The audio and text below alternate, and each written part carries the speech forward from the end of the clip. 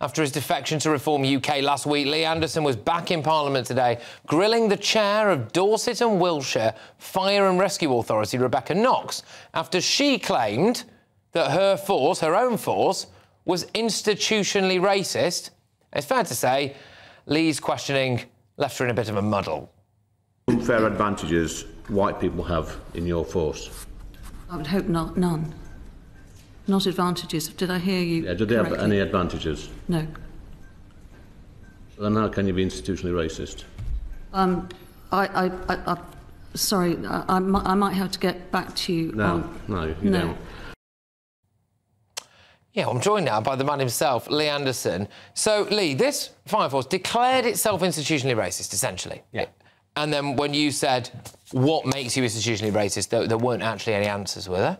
I think this is just a case, Patrick, of a of a boss here just ticking a box, admitting that the the force is institutionally racist when it's probably not, just to keep a job. It was quite pathetic. You know, I, I challenged her, I grilled her on the spot in the Home Affairs Select Committee today, and she couldn't answer a simple question. It totally flummoxed her.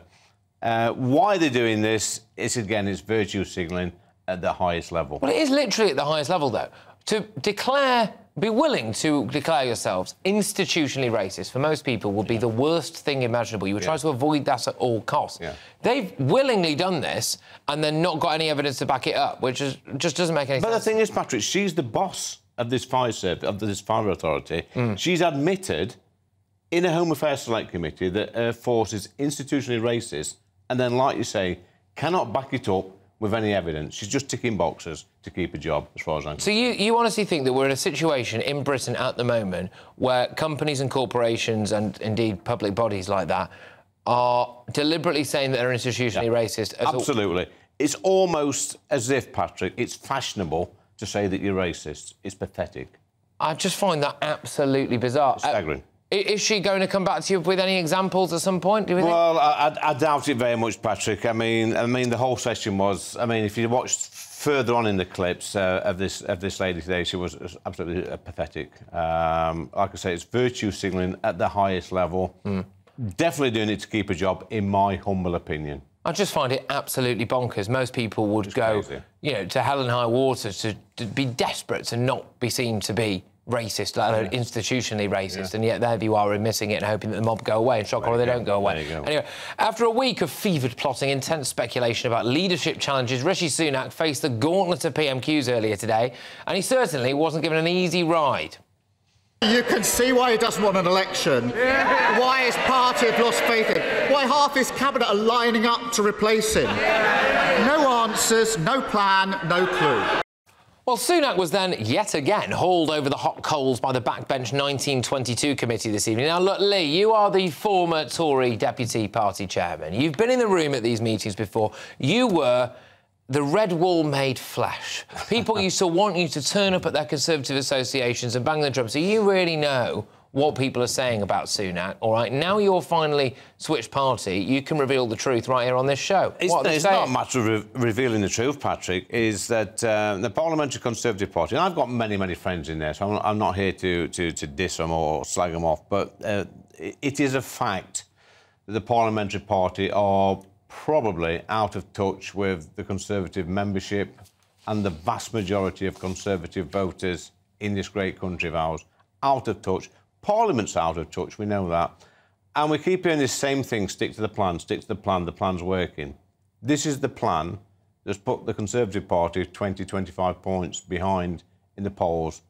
The plan's not But you know what happens at these 1922 committee meetings, Lee? And, you know, all too often I got the impression that you had to come out of those and go, oh, you know what, I stopped anywhere." going to them, Patrick, because I thought it was just a waste of time. It's a lot of people, no disrespect to my colleagues, but they go in there and they're blowing smoke up a certain part of an anatomy of the Prime Minister, making him feel good when actually what he needs to be told is the truth. And unfortunately, a lot of my colleagues don't tell the You think that? Do you think they're lying? To, so you think Tory MPs and presumably cabinet ministers are lying to the Prime Minister about what the mood is actually like about him? I said last year, Patrick, that uh, certain parts of the Conservative Party are like the, the band on the Titanic.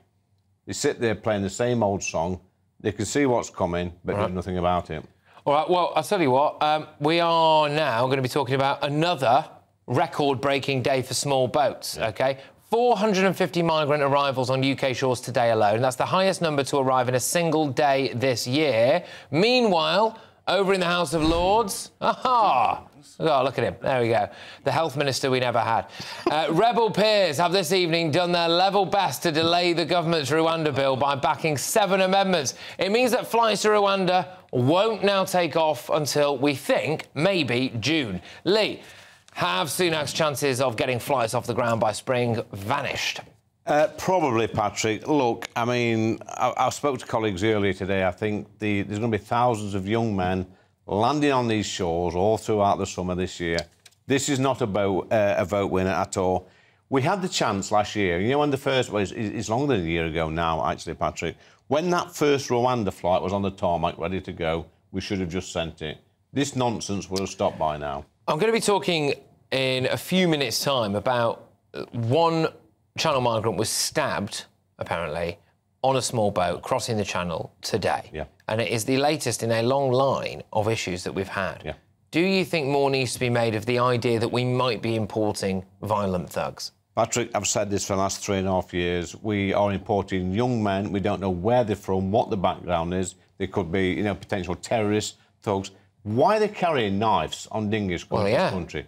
That's the question. Why are they carrying knives? As far as we can gather today, of this record breaking day, it looks like at least one of those people that we've imported today is uh, potentially an attempted murderer. Yep. Is certainly armed with a knife, from what the reports are saying. But we've had some of these um, migrants before, Patrick, come over here and commit horrific sex crimes and murders. You know, we, I've said it time and time again, we're giving this country away to a, a third world culture, if you like. They've come here, they've got no respect for our country at all, and they're just roaming loose in our communities and causing all sorts obviously, of mayhem. look, obviously, there's a huge amount of pushback to that. People say they're all fleeing war and that they There's no war in our France, help, etc. So There is no war in France. Mm. No, that was Reform UK MP Lee Anderson.